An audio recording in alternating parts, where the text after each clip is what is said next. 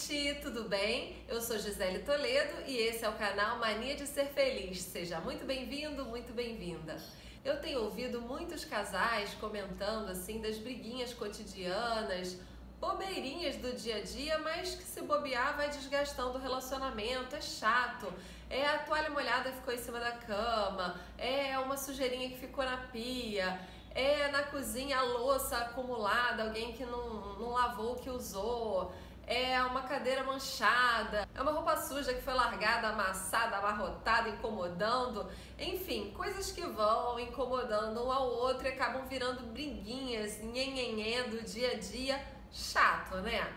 Mas então, eu tenho meditado bastante e enquanto eu medito, muitas vezes me surgem insights e aí me veio esse insight que eu quero comentar aqui com vocês, compartilhar essa ideia.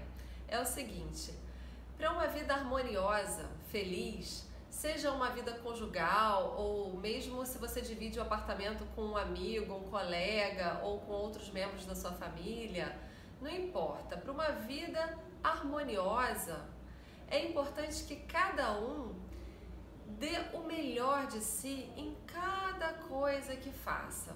É importante que as pessoas envolvidas façam assim um acordo de que cada um vai sempre dar o melhor de si em cada menor tarefa do seu dia.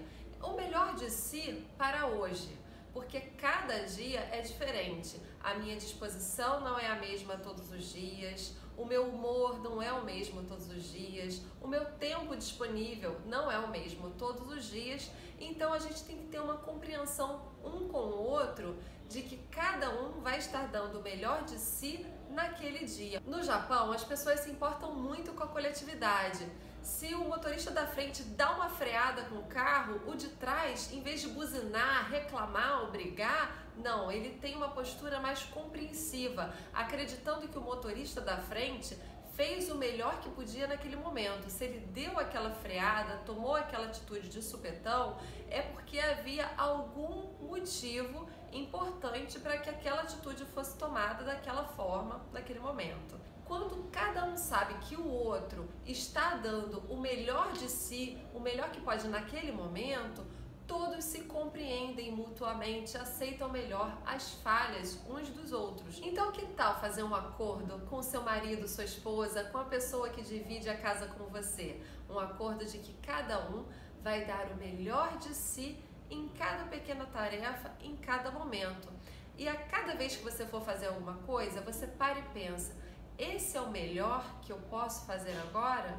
Porque pode ser que agora eu esteja com muita pressa, tenha um horário marcado, esteja atrasada e não dê tempo de eu lavar a louça. Mas a pessoa que ficou e que vai acabar tendo que lavar essa louça, ela vai ser compreensiva, não vai ficar com raiva, porque ela sabe que se eu deixei a louça acumulada ali, é porque tinha um motivo. Porque eu com certeza dei o melhor que eu tinha de mim naquele momento.